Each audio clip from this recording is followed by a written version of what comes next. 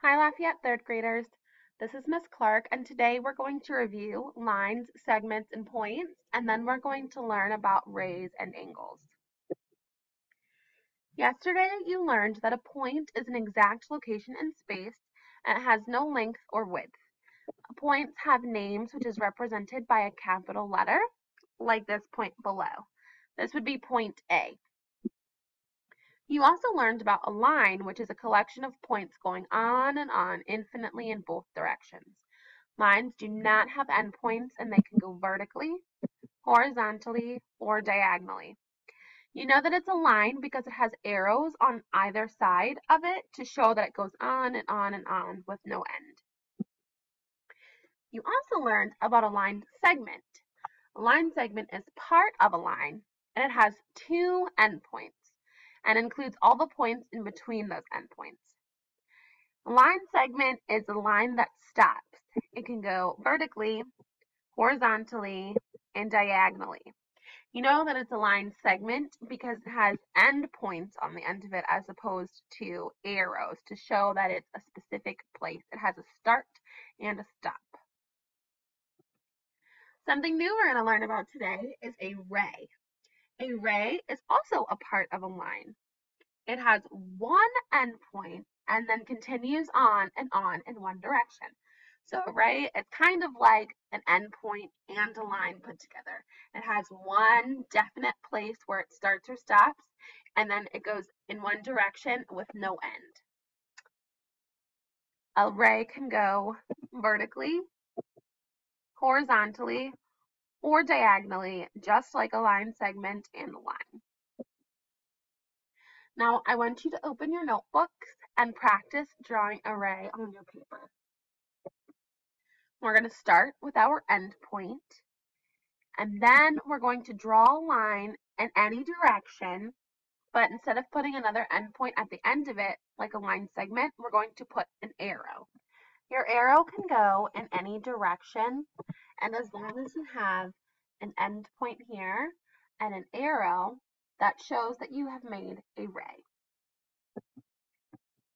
Next, we're going to talk about angles. Angles are two rays that share the same endpoint and they form an angle. The endpoint that both rays share is called the vertex. Angles are found wherever lines and line segments meet. So anytime you see one endpoint in the line going in one direction and then a line going in a different direction shows that it's an angle. We have three angles on our page here and notice that the lines are going all in different directions. It doesn't matter which direction the lines are going as long as they're all sharing that common endpoint or the vertex shows that it's an angle. All right, it's your turn to practice again. So I want you to get that same piece of paper and we're going to practice drawing angles. We're going to start drawing a ray in any direction you want. And then we're going to draw another arrow, but we want to start that arrow on the same endpoint or vertex as that first ray we have.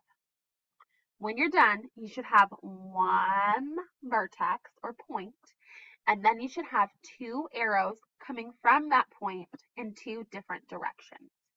Remember, it doesn't matter the direction of the lines or the arrows that you're drawing, as long as they share that same vertex or endpoint, shows that it's an angle. There are many angles in shapes. We have a triangle here, and I see that this line and this line meet and connect at this vertex. That shows an angle. Triangles have three angles. And squares have four angles. The corners on the squares where the two lines meet is an angle. All right, let's practice. I want you to pause the video and name the figure.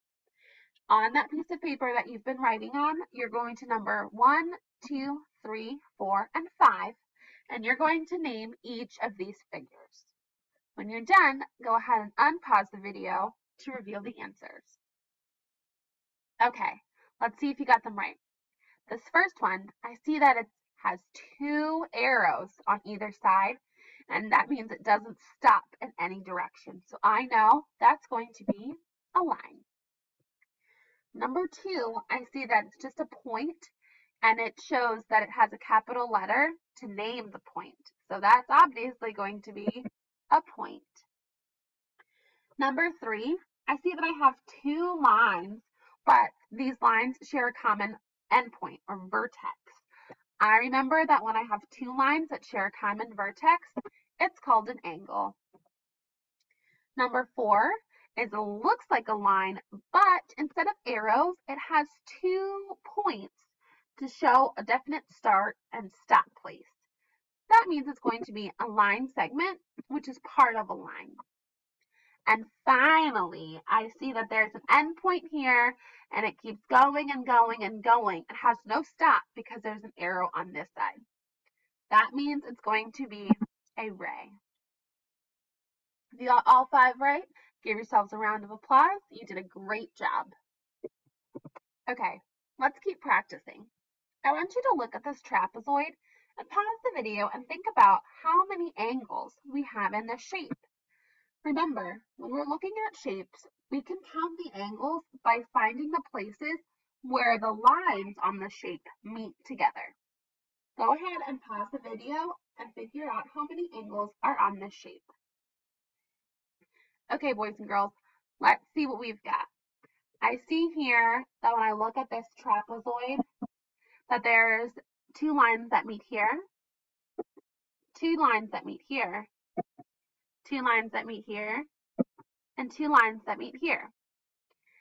I found all the places where the sides meet together, and I count that there are one, two, three, and four.